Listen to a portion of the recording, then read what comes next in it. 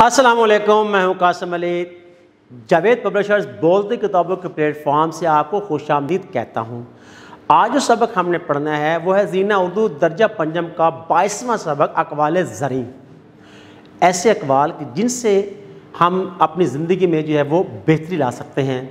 जिनसे हमारे अखलाकियात बेहतर हो सकते हैं, जिनसे हमारी माशरती ज़िंदगी जो है वो अच्छी हो सकती है, जिनसे हम दूसरों के साथ जो बेहतरीन मामला तय कर सकते हैं। तो चलते हैं अपने सबक अकवाल ज़री की तरफ़। अकवाल ज़री अकवाल ज़री के मानिए सुनहरी या कीमती बातें, यानी बुज़ुर्गों और दाना लोगों की ऐसी कीमती और सबक आमोज बातें या अकवाल जो सुनहरी हरूफ में लिखे जाने के काबिल हों। इन सुनहरी अकवाल से हमें ज़िंदगी के सफ़र में ख़ुद अतमादी हौसला, रहनुमाई और रोशनी मिलती है।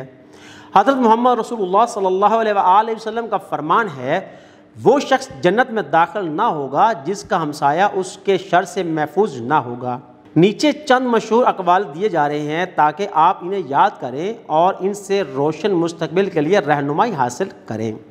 उस्ताद की तज़ीम करो तो तुम्हारे शागिर्द तुम्हारी भी तज़ीम करेंगे। हज़रत उम्र फ़ारूक रज़ी हो दुनिया की इज़्ज़त माल से है और आखरत की इज़्ज़त आमाल से है, हज़रत उम्र फ़ारूक रज़ी हो आज का काम कल पर मत छोड़ो, हज़रत उम्र फ़ारूक रज़ी हो अल्लाह ताला के साथ मामला तिजारत करो और पूरा नफ़ा पाओ।